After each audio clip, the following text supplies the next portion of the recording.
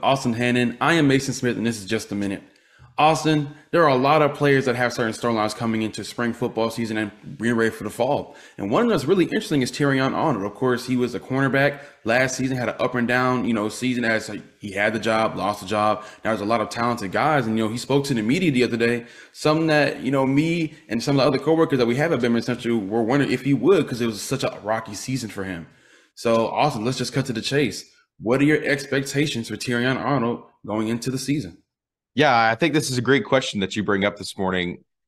I like Terrion Arnold. I think he kind of got a bad rep because he did have times last year when maybe he wasn't as consistent as he was, as Bama fans would have liked him to be.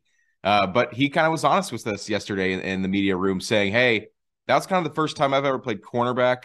Um, the reason he did it was because they were kind of low at that position, other than Kool Aid. Um, he was kind of thrown in there as a redshirt freshman. Really, first time playing the position was a freshman All American, freshman All SEC. Obviously, he made that game-winning play against Texas A&M on the goal line on October 8th. Um, and I think he's going to make big strides this year. I think it, it, it means a lot when you have a second year in a, in a system and a new position.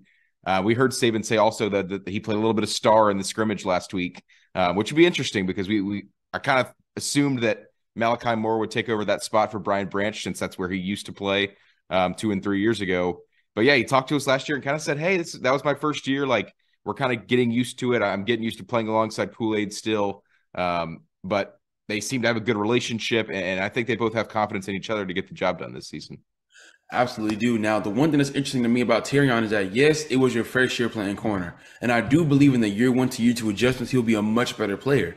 But the question now becomes, will he have the time to do so? I mean, the defense probably brought in the most talented core of cornerbacks that we've seen in a long time at Alabama. You know, Desmond Ricks, Eli Ricks' little brother, you know, is is one among them. So now my now my concern is will he have the chance to kind of show himself? And I think he's doing so because he's talking like he's taking the first team reps, he's going against the first team guys.